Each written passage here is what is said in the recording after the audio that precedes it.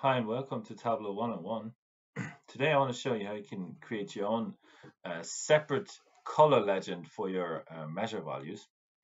Um, so what you see here, we have uh, three measures, uh, profit, quantity, and sales, and we want to show profit as positive and negative in, in, in green and red.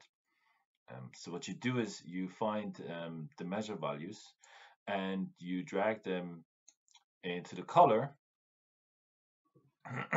and then you right click on measure values and say use separate legends. What it'll do is it'll create a separate color legend for each of the measures that we have. And for profit, what we can do is, and we say custom diverging, we want to turn this into green and the other side into red. And then we do a stepped color for two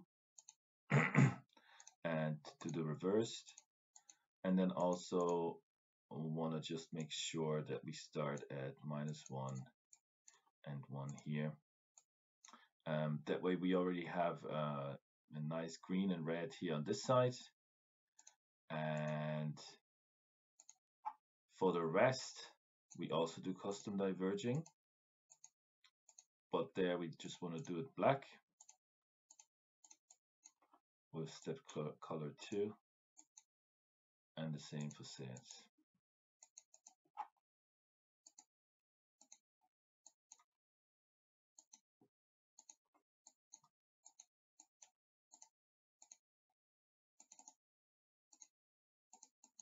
and black.